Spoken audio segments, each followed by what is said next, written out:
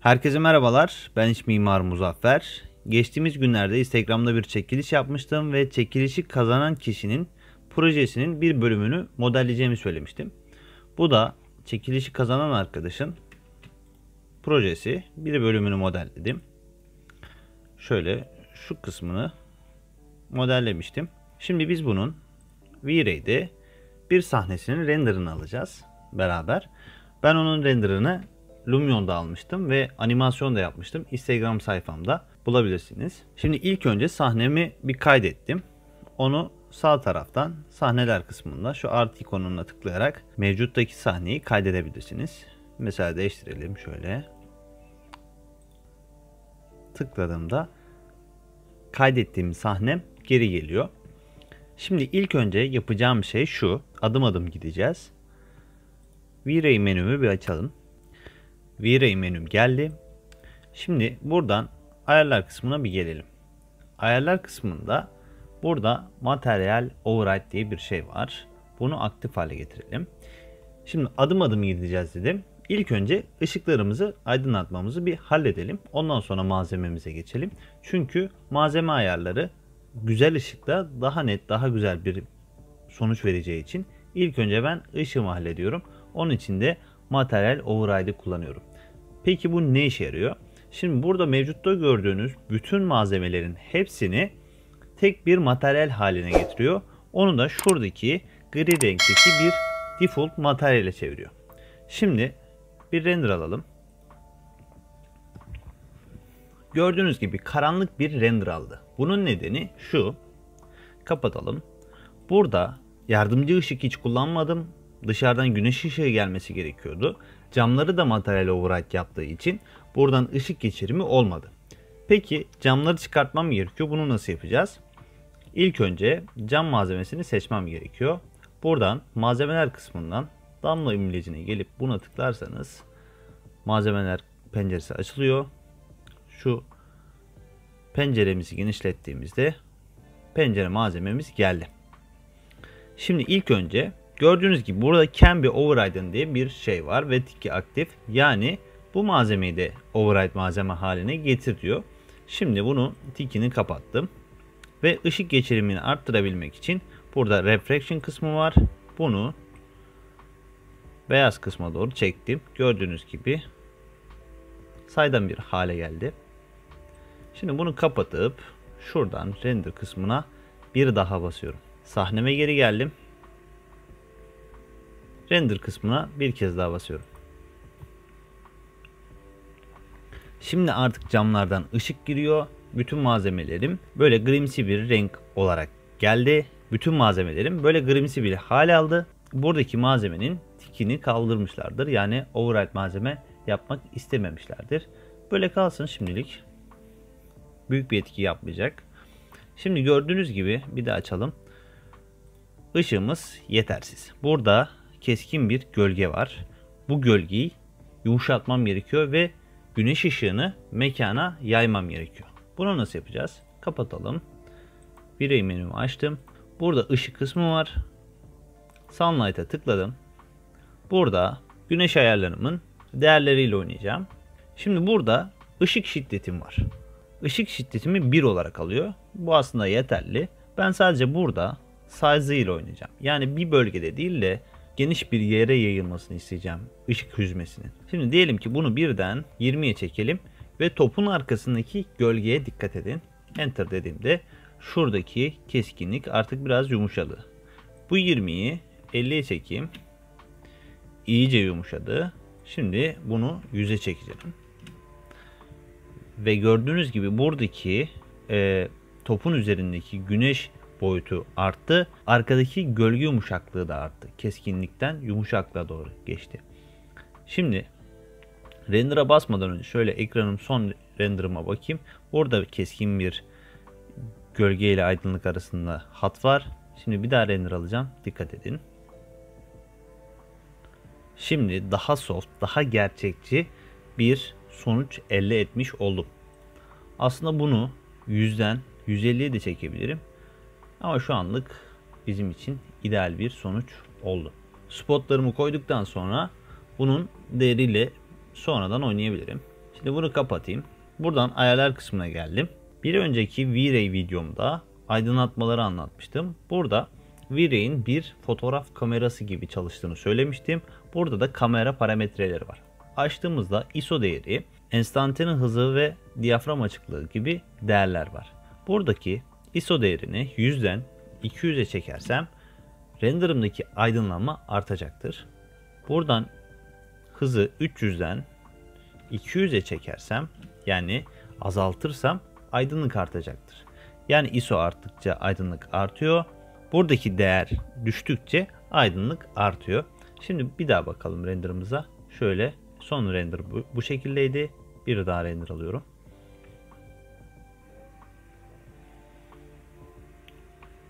Şimdi daha aydınlık ve daha net kendini anlatan bir sahne oldu. Şimdi bunu da kapattım. Sadece güneş ışığından yararlanmış olsaydım bu bize yetecekti bence. Şimdi biz buna şunu da kapatayım parametreyi. Burada Global Illumination diye bir şey var. Buradan bunu brütten şuna çekersek artık bu e, güneş ışığını mekandaki o ışık yansımasının daha homojen bir şekilde olacağını göreceksiniz. Şimdi bunu da kapatalım. Burada aslında ışıklarla alakalı yapacağımız ayarlar bitti aslında. Şimdi buradan ışıklara gelelim. Gördüğünüz gibi sadece sunlight var. Biz buna bir de ES ekleyelim. Yani spot ekleyelim. Onu nasıl yapacağız? Şimdi burada yardımcı ışıklarım var. Buradan ES ışıklarına tıklıyorum. Şimdi ilk önce ES'i koyacağım. Objeye gelmem gerekiyor. Bunu da component yapmıştım. Component'ın olayı da şu. Sadece bir tanesini yaptığımda o komponenti kopyaladığımda diğer kopyaladığım bütün öğelerde gerçekleşecek. Şimdi şöyle göstereceğim size. Hatta bunu da grup yapalım. Make group. Şu yüzeyi sadece. Sonra geri kalanı seçtim. Şuradan bir de smooth atalım. Şuradaki hattın çizgilerini görünmesini istemiyorum. ES'e tıkladım. ES'ten bir dosya seçmem gerekiyor. ES. Buradan 20'yi seçeceğim. Aç dedim. Şöyle ortalardan bir yer seçeyim. Şimdi gördüğünüz gibi bu komponent olduğu için diğer bütün spotların hepsine geldi bu ışık. Tek seferde aydınlatmamı halletmiş oldum aslında. Şimdi sahneme geri dönüyorum. Şimdi o 20'yi biz neye göre seçtik onu da göstereyim size. ES dosyasında aslında bir fotoğraf var. 20'yi yani 20 değeri şu. Böyle bir dekoratif ışık verecek. Buna göre seçtim. İstediğiniz hoşunuza giden ışık türüne göre de ES seçebilirsiniz. Bunu da kapatayım. Bunu da atlamış olmayalım. Neye göre seçtiğimi de görün. Şimdi ES ayarlarıyla oynamam gerekecek. ES'e geldim. Şu tiki aktif hale getirdiğinizde burada bir değer olacak. Bu lümen cinsinden bir değer girmemizi istiyor. Lümen dediğimiz şey de e, normal hayatta kullanmış olduğumuz lambaların değerleri lümen cinsinde olur. Ona göre siz de daha gerçek hayata uygun aydınlatmalar yapabilirsiniz. Mesela ben buna 10.000 lümenlik bir aydınlatma yapacağım. Şimdi bunu kapattım. Tekrardan render tuşuna basıyorum. Önceki buydu. Evet duvara yakın yerlerde o dekoratif ışığı görebiliriz. Buralar biraz daha uzak kalmış. O yüzden tam gelmiyor. Şu şurada hafiften hissediliyor. Bir de mekanımız oldukça aydınlık olduğu için ışığımız pek hissedilmedi. Yani dekoratif olması ama mekana yine bir aydınlatma kattı. Bunun değeriyle de oynayabiliriz. Gerçi burada gayet aydınlık oldu gözüküyor.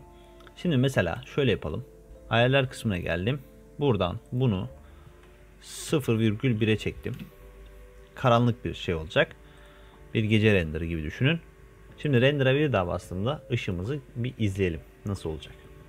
Evet ES'lerim bu şekilde gözüküyor normalde. Mekanımız güneş ışığından dolayı aydınlık bir hale geldiği için pek bu etkiyi hissedemiyoruz. İster kullanın ister kullanmayın. Ben genelde kullanmayı tercih ediyorum. Daha göze hoş geldiğini düşündüğüm için. Şimdi bunu kapatıp sunlight'ımı yine bir yapayım değerini. Burada filtre kısmını isterseniz override kısmına getirebilirsiniz. Daha böyle beyaza yakın bir ışık olur. Bunu filtre yaparsınız daha sarıya dönük bir ışık olur. Ben bunu override'de kullanacağım. Son kez bir render daha alacağım. Evet daha kare kare renderlar alması için şurada şöyle bir ayar var. Şu kısmını kapatırsanız bir daha render alalım mesela. Bu kareleme işlemi bittikten sonra şuradaki noise'ları sildikten sonra normalde kare kare olmuyordu. Şimdi göreceksiniz. Kareleme bitti. Hala kare işlemi devam ediyor. Ben bunu kullanmayı daha sağlıklı buluyorum. Şimdi bunu da kapatıp malzemelerime doğru geçebilirim artık. Şimdi malzemelerime geçeyim. Işık ayarlarım bu şekilde oldu. İçime sindi ışık değerlerim. Şimdi malzemelere geçebilirim. Malzeme sonuçlarını daha sağlıklı bir şekilde göreceğime inanıyorum. Şimdi ilk önce en büyük kaplayan yerlerden başlayalım. Önce duvara yapalım sonra zemine yapalım. Duvara böyle bir renk atmıştım. Lumion'da farklı bir malzeme kullanmıştım. Şimdi V-Ray'de şöyle bir şey yapalım. Burada malzemeler sekmesinde burada Wall Paint kısmından bu materyali böyle sürükleyip attım. Şimdi bunun rengiyle oynamak istiyorum. Şuradan geldim. Şu rengi seçtim. Beyaz bir duvar istiyorum. Bunu kapattım. Buradan da bump değerini kaç yapalım? 0,5 yapalım. Bu gördüğünüz gibi şuradaki tırtıklar, dokular daha net bir şekilde ortaya çıkıyor. Bunu yine 0,1'e çekelim mesela. Daha pürüzsüz bir hale geliyor. Ben bunun pürüzlü bir hale gelmesini istiyorum. Ama 5'te çoktu. 0,3 işime yarayacaktır. Şimdi duvarım bitti. Sonra gelip buradan damlalıkla buradaki malzemeyi seçiyorum. Şimdi bunu şu kısımdan fluor'a getiriyorum. Daha rahat bir şekilde görebiliyorum. Şimdi bunun reflection'ını birazcık arttırıyorum. Böyle cam gibi bir yansıma olmasını da istemiyorum. Çünkü bir parke böyle yansımaz. O yüzden şuradan reflection glass'ınızı yani cam sılığını azaltılıyor, azaltıyorum. 0,8 veya 0,85 iyidir. Şimdi burada şöyle bir şey yapacağım. Sağ tıkladım. Bunun bir kopyasını alacağım. Aldım. Sonra buradan bump kısmı var. Bunu aktif hale getirdim. Sonra şuradaki kare kısmına tıkladım. Buradan Color Correction sekmesini seçiyorum. Bunu seçmememin nedeni şu. Malzemeyi kopyalamıştık ya. Şimdi onu buraya yapıştıracağım. Color Correction seçmemin nedeni buradaki malzememi siyah beyaz hale getirmem gerekiyor. Buradaki Saturation kısmını eksi 1'e çektim. Gördüğünüz gibi siyah beyaz bir hale geldi. Çok siyah olmasını istemediğim için şuradan rengiyle oynuyorum. Şöyle iyi bence. Fena değil. Şimdi geriye geleyim. Gördüğünüz gibi oradaki pürüzler biraz daha net bir şekilde ortaya çıktı. Şu anda şöyle kalsın. Geri geldim. Sonraki malzememi seçeyim. Şu malzemeyi seçtim. Bunu yine fluor'a getireceğim. Sonra buna reflection vereceğim yine. Sonra glossance'ı indireceğim. Biraz daha arttırsam. Şimdi yine aynı şeyi yapacağım. Copy.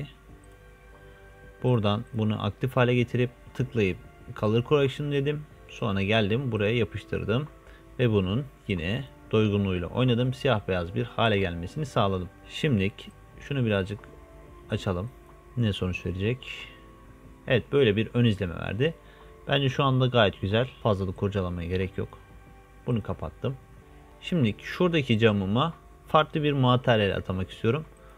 Bunu nasıl yapacağım? Glass kısmına geldim. Buradan bir malzeme atamak istiyorum.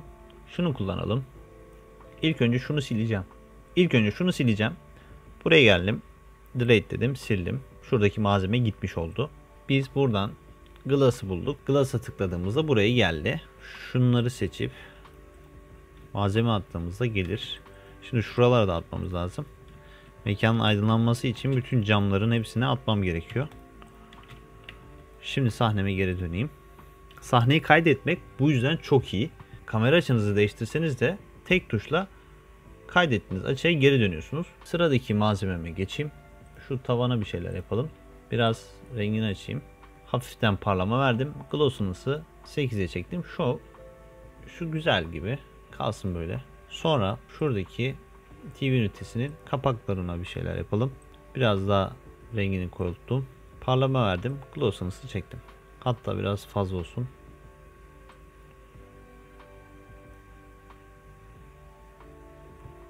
Evet böyle iyi gibi. Penceremin kasasına geldim. Yine aynı işlemi ona da yapacağım. Reflection verdim. Glossiness'ı çektim biraz. Sonra şuradan Yor değerini birazcık arttırıyorum. Şunun tonuyla da oynayayım. Şöyle iyi. Kapattım. Şunu ahşap yapmak istiyorum. Şuradaki ahşapın aynısını yapmak istiyorum. Şunu kapat. Şunu seçtim. Şuraya geldim. Aynı ahşabı buna da uyguladım. Sonra hangi malzememi yapalım? Şu zaten bununla aynıydı. Şuradaki toprak malzemesi hazır malzemelerden. Grant. Grant'tan şu malzemeyi seçiyorum.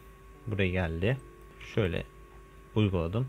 Evet koltuğumuzun malzemesini yaparken malzeme silindiği için geri getirebilirdik CTRL Z ile ama şimdi biz kendimiz malzeme yapalım. Burada texture.com'dan bir malzeme indireceğim. Böyle bir malzeme varmış. Bunu indireceğim. Deneyelim olmazsa farklı bir materyal kullanırız. Şimdi bunu indirdik. İndirdikten sonra şurada malzememi resetledim. Create materyal dedim. Şuradan dosya seçmem gerekiyor. İndirilenleri tıkladıktan sonra buradan malzememi aç dedim. Şunu yüze çekeyim. Okey. Şimdi malzemem geldi. Şöyle tıklayalım. Sonra buradan malzememi atayım. Bu şekilde geldi. Şimdi burada bir plugin var. Bu plugin'in adı Sketch UV Map. Bu bu tür organik formdaki modellerde malzeme atarken böyle hatalar veriyor. Bunları kurtarıcısı olarak bu plugin'i kullanabilirsiniz. Box dedim.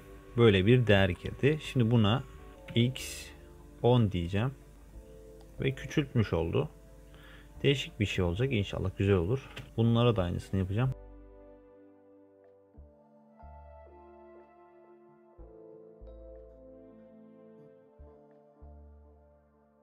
Evet buradaki koltuğu da bitirdik. Şimdi şuradaki ahşap kısmına tıkladım. Bu da hazır malzeme olduğu için otomatik olarak V-Ray kendisi V-Ray ayarlarıyla beraber geliyor. Şimdi bunu da kapattım. SketchUp Warehouse'da birçok model V-Ray ayarlarıyla beraber geliyor. Şimdi şuradaki deri kısmına da tıklayalım. Bu da gelmiş ama pek hoş bir şekilde gelmemiş. Hoşuma gitmedi. Şuradaki deri materyallerinden bir tanesini seçeceğim. Gözüme hoş geldi. Şunu seçebilirim. Kapattım. Şu şekilde geliyor. Isolate aktif hale getirdim. Şunun tamamını seçtim. Geldim bunu tıkladım. Materyal atıyorum. Şimdi yine bozuk bir şekilde gelecek. Get UV ile düzelteceğim. Şuradaki plugin'e yani. Box dedim. Şu şekilde çıktı. Şimdi şunun editten yapalım. 5 yapsak. Hatta daha az yapalım. 1 yapalım. Şöyle bir ön izlemesi oldu. Render'da bu. Şuradaki hali alacak. Kapattım. Ayaklarına bakalım. Ayakları da bu şekilde geldi. Şu bizim resmimizin çerçevesine bakalım. Bu ton pek hoş değil. Bence buna şunları silelim. Yine hazır gelmiş ama şunu da sileceğim. Ve buradan V-Ray normal materyal atacağım. Kapattım. İyice siyah çekeyim. Sonra Reflection'ı biraz arttırdım. Glossiness'da oynadım mı? Benim için şu malzeme ideal. Şimdi ahşapıma bakacağım. Bu Evet bu da hazır gelmiş. Şöyle flordan bakarsak dokuları falan oldukça güzel duruyor. Atladığımız bir yer var mı? Şuradaki eşliklerimizin malzemeleri. Evet burada bir sıkıntı var gibi. Hiç yansıması falan yok. Şuna biraz yansıma atayalım. Yansımayı kısalım biraz. Glossiness'la oynadım mı? Yeter. Şimdi burada kaç farklı yeşillik var? O da önemli. Evet bir farklı daha varmış. Buna da reflection atıyorum. Şöyle olsun. Glossiness'la oynadım. Bitti. Şuradaki saplarına da bakarsak yine ona da reflection atadım.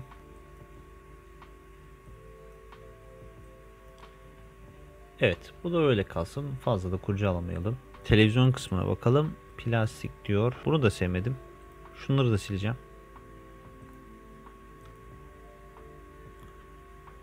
Buna yine siyah atacağım. Ama parlak bir malzeme olacak. Şu parlaklıkta 9 iyidir. Şuradaki malzemem biraz gözüküyor. Evet şöyle bir değeri atalım. Şimdi şuradaki şeyin neden böyle bir renk olduğunu şöyle ifade edeyim. Bunun bir tekstürü yok. Yani bu bir renk. Siyah bir renk. Sadece bunun normal map'i var. Normal map'ine göre bunun dokuları değişiyor. O yüzden tekstürü olmadığı için sadece normal map'i olduğu için ön izleme olarak böyle bir ekran çıkıyor. Ama render aldığımızda şuradaki sonucu verecek. Şimdi sahneme geri döneceğim. Bizim ayarlarımız materyal override'de kalmıştı. Bunu kapatıyorum artık. Şimdi basit bir ön izleme render'ı alacağım. Tıklıyorum. Malzemelerle ilk render'ımızı alıyoruz. Biz duvar malzemesi yaptık ama duvar malzemesini atamadık. O yüzden şu ön izlemeyi kapatıyorum. Şimdiki malzeme kısmına bir daha geldim. Biz bu malzemeyi atamayı unuttuk. Şimdi kapattım. İzolatımı açtım. Bakıyorum. Şimdi direkt bunu buna ekledim. Bunun editini de 25'ten 75'e çekelim.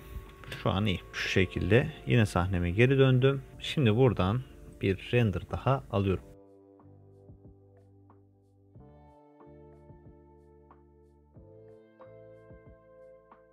Evet. Şimdi render'ım bittikten sonra size bir şey daha göstereceğim. Ekranın sol alt köşesinde burada bir ayar var. Exposure kısmından bunun tikini açtıktan sonra Exposure ile sonra şuradaki ışık kısmıyla oynayabilirsin. Tabi bizim çözünürlüğümüz çok düşük olduğu için şu anda çalıştığımız ayarlar çok düşük olduğu için böyle noise'lanmalar, böyle noise'ler şu anlık olacaktır. Şimdi bunu kapatıyorum. Şu çok parlamış. Tıkladım. Ve 8'e falan çekeceğim. Şöyle. Hatta bunu simsiyah yapalım. Şöyle dursun. Şimdi renderımda şöyle bir şey var. Render ekranıma bir daha bakayım. Bu arka planda boşluk var. Bunu doldurmam gerekiyor. Bunu da Dome Light ile yapabilirim. Dome Light ne? Şurada bir Dome Light diye bir şey var. Yarım bir küre. Şöyle tıkladıktan sonra ilk önce buna tıklıyorsunuz. Sonra konumunu belli edeceksiniz. Şöyle tıkladıktan sonra bu gelir. Sonra bunun güneş yönünü şöyle ayarlayalım. Şu şekilde bir güneş gelsin. V-Ray'in kendi HDR'si var. Biz buna farklı HDR'ler ekleyebiliriz. Mesela ekleyelim. Buradan seçelim dosyadan. Ben şuradan bir kar HDR'si ekleyeceğim. Aç dedim. Bunu RGB'ye çekersek. Çünkü lineer yaptığımda daha beyaza yakın bir şey oluyor. RGB, RGB'ye çektim. Geri geldim. Şu şekilde bir 360 derece bir resim bu. Şimdi bunu yarı değil de tam olarak yapmak istiyorum. Gördüğünüz gibi zemini de geldi. Kurcalayacağımız. Ha bir de değeriyle oynayalım. Mesela bunu 30 yapalım. Çok aydınlık oldu. 20 yapsak idare eder. Şimdi kapatayım. Açıma bir daha dönüyorum. Bir render daha alacağım. Evet gördüğünüz gibi o HDR'ın Dome Light'ın buradaki tekstürünü görüyorsunuz. Ama burada şunu bir kapatalım. Şuradaki kısımla şöyle bir çerçeve çizdim. Şimdi render aldığımda o çerçeve sadece render alacak. Sadece şimdi buradan daha hızlı sonuç görebilmek adına. Şurada çok yakın hissiyatı var şuradaki ağaçların. Bunu değiştirebilir miyiz? Buradan Domblay'da bir daha seçtim. Buradaki ayarlarından Braille değil de bunu screen yapacağım. Geri geldim. Geri geldim. Bir daha render alalım. Şu şekildeydi. Bir daha render alıyorum.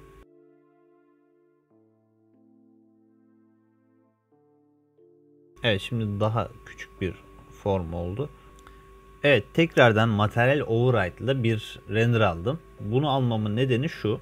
Şimdi dışarıda bir ışık patlaması olduğunu düşünüyor olabilirsiniz. Ama normalde de mesela odanızda bir resim çektiğinizde fotoğraf makinesiyle veya telefonunuzda dışarıda daha fazla ışık olduğu için patlayacaktır. Yani cam kenarındaki herhangi bir fotoğrafınız patlayacaktır. Burada aslında şu andaki görüntü gerçekçi bir görüntü. Ama siz bunu şuradan Dome Light değerleriyle oynayarak düzeltebilirsiniz. Yani şuradaki 20 değerini düşürebilirsiniz. Bir daha render alalım.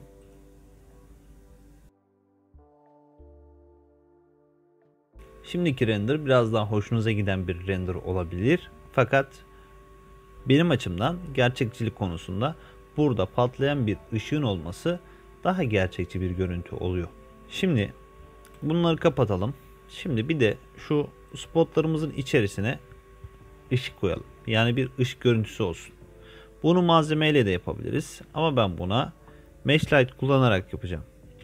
Şimdi bunlar component'ı. Component olduğu için Şuradaki yüzeyi de grup yaptığım için şu yüzeye tıkladım. Buradan Mesh Light kullanacağım. Mesh Light'ı tıkladıktan sonra şimdi sahneme geri dönüyorum. Sonra geldim. Mesh Light'a tıkladım. 30'u 100'e çekiyorum. Bir daha render alacağım. Şimdi şuradaki şu siyahlıklar gidecek ve bir ışık görüntüsü çıkacak. Evet spotlarımdaki o ışık miktarını artık görebilirsiniz. Bunu kapattım. Şimdi şurada şöyle bir özellik var. Bloom diye. Şimdi bunu açalım. Şuradaki değeri görüyorsunuz. Işık yayılımını görüyorsunuz.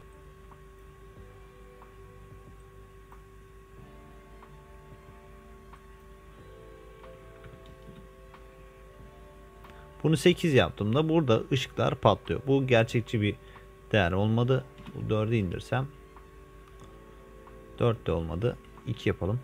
Evet. Şimdi daha iyi oldu. Bunu kapatabilirim. Artık renderlarımda bu gözükecek. Malzemelerle bir deneme renderı dağılacağım. Ondan sonra final renderımıza doğru geçeceğiz. Şimdi buradan materyal override'ı kapattım. Bir deneme renderı dağılacağım. Işık ve malzemelerim bir daha bakacağım son kez. Sonra artık final renderını almaya bakacağız. Ayarlarımı gireceğim. Çözünürlüğümü arttıracağım. Sonra da bitireceğim. Burada benim televizyonum parlamıyor. Işık yok gibi. O yüzden şuna bir müdahale yapacağım. Şuradaki genel bir malzemeyi baktıktan sonra o ayarları bir gözden geçireceğim tekrardan. Yastıklarımı değiştireceğim. Yastığımın malzemelerini fabrik şuradan farklı malzemeler deneyeceğim. Mesela şu.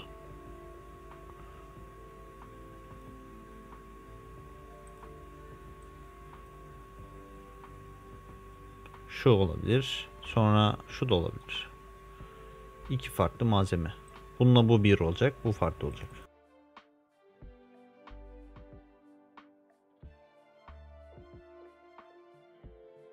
Fena olmadı. Sahneme geri geliyorum. Bir de şuradaki ekranım. Hatta şuradaki televizyona farklı bir malzeme atabiliriz. Şuradan Netflix'in logosunu atabilir mesela. Hemen şunu da şöyle malzemesiyle oynayalım. Artık final renderına doğru geçebiliriz. Material override'ı kapattım. Işıklarım benim için yeterli. Output'unu şunun 3000'e çekiyorum. Hatta şuradan çıktığı ayarlarıyla da oynayabiliriz. Şunu Picture'a getirsek şuradan Save Frame'i açayım. Şöyle bir açı. Şuradaki basamakları daha net alır. Hatta bunun da ön izleme renderini alalım da sonradan kötü olmasın. Şunu yine 800'e çekeyim. Evet şunun biraz antresite çekecektik. Kapattım. Onu da ayarladıktan sonra final renderını alabilirim artık. Evet şu iyi gibi. Evet final renderını geçebilirim. Şimdi bunu ayarlar kısmından render'da bunu high'da getiriyorum. Bunu 3000 yapabilirim. Ya da şunu 2000'de sabitleyip ne gelirse artık. Buradaki ayarlarımı zaten yapmıştım. Bunu da yapmıştım. Burada oynayacağınız belki denoiser ekleyebilirsiniz ama bu render sürenizi arttıracaktır.